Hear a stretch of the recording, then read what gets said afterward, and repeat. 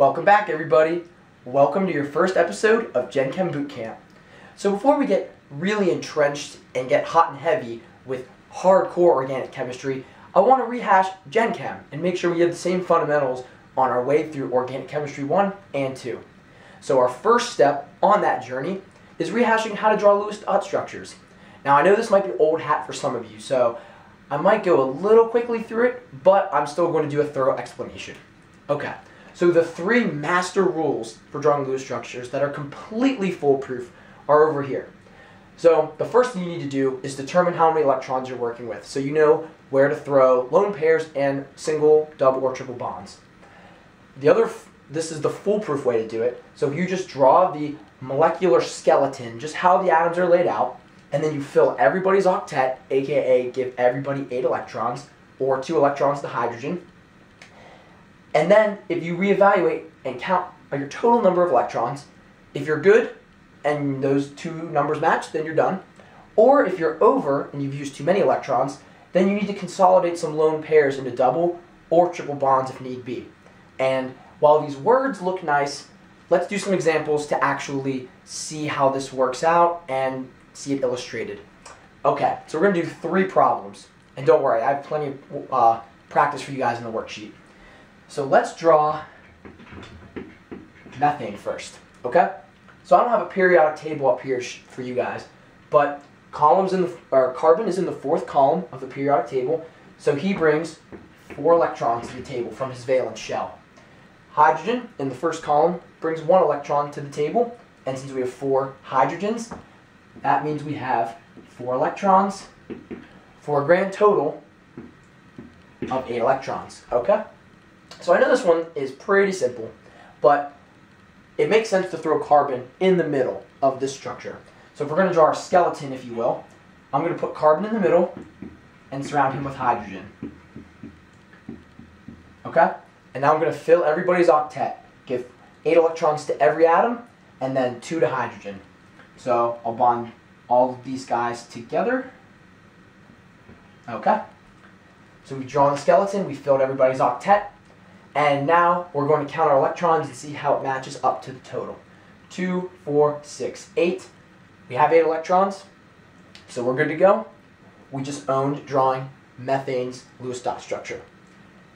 So, I know what you're thinking. Okay, Joe, that was super easy. And I guess it was. But let's kick it up a little bit of a notch. Erase this. So, let's try something a little bit more interesting. Let's draw the Lewis dot structure for carbon dioxide. Okay, so let's figure out our total number of electrons. Step number one. Four electrons from carbon. On the periodic table, oxygen is in the sixth column, so he'll bring six electrons to the table. Multiply that by two because we have two oxygens. That means 12 electrons contributed from oxygen. Add that total up. We have 16 electrons. Okay, so now I'm going to draw my skeleton. Oxygen on one side, oxygen on the other side, and now I'm going to just fill everybody's octet. So I'm going to give 8 electrons to carbon, 2, 4, 6, 8. I'm going to fill oxygen's octet, 2, 4, 6, 8. Remember, bonds count as 2 electrons. And then I will do the same thing over here. Okay, so we've drawn the skeleton, we filled the octet. Now let's figure out if our electrons here match up with our the ones we're allowed to use. 2, 4, 6, 8, 10, 12, 14, 16, 18, 20. Damn.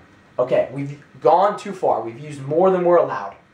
So what we need to do now is use step number three, and we need to consolidate some electrons by making some double bonds.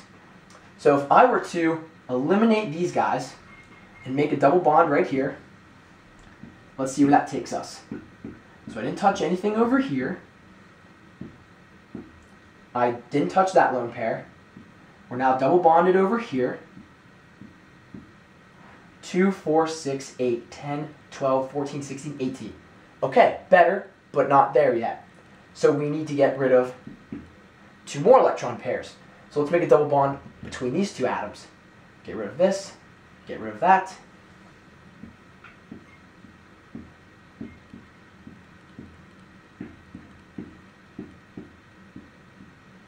2, 4, 6, 8, 10, 12, 14, 16.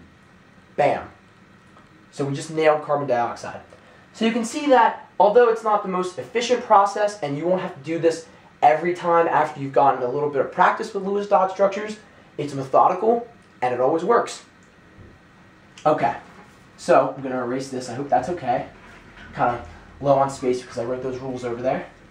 So now let's do one more example.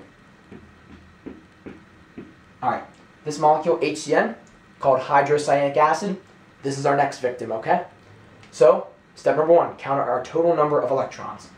One electron from hydrogen, four from carbon, and nitrogen is in the fifth column, so he brings five electrons to the table. For a grand total of 10 electrons, okay? So, turns out this skeletal, the skeletal structure is laid out exactly how this is written. So I'll write H, C, N. All right, fill everyone's octet. Four to everybody, two to, uh, eight to everybody, my, my excuse, two to hydrogen.